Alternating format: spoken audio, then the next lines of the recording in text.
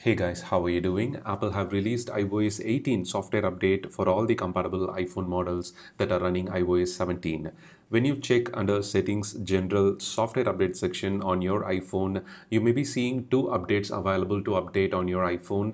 Like iOS 17.7 is available now and below that you will see the also available section which shows upgrade to iOS 18. When you tap on this section, it will expand and it will show the details about iOS 18 update and all the features that are coming to your iPhone. You may be confused if you're new to iPhone, which software update is right now we need to install install like whether we need to install the 17.7 and then we have to update to the 18 or straight away we can go to the 18 version. So the answer is pretty simple. For the past few years, Apple allows us to stay in the older major stable release iOS version if you don't want to install the updated latest iOS version with all the new features coming to your iPhone. Some users on their older device with battery health, you know, around 80 percentage or for apps compatibility reasons, if they have some applications like banking applications and any company or corporate provider applications, they may not ready to install the latest iOS 18 version.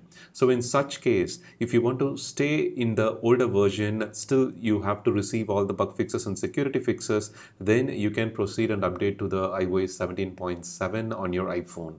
You can update to the 18 after one or two months when iOS 18.1 and 18.2 comes out with more stability and bug fixes. So for such reasons, Apple allows us to stay in the iOS 17 version or if everything is good like it is your private iphone and you have all the apps and banking apps working normally if you have seen in the beta version of ios 18 then you are ready to update to the ios 18 right now to experience all the new features that Apple brings to your iPhone. I'll also leave a link to some of the iOS 18 features I have covered in our channel uh, in the description and in the first comment I'll pin that comment for you to easily access that playlist available in our channel to get a quick preview of what are the top iOS 18 features coming to your iPhone and iPad. iOS 18 is good to update on your latest iPhone models. It's absolutely fine. So far, no big issues reported. There are few minor bugs and issues here and there with, you know, keyboard little bit hangs while typing faster and, you know,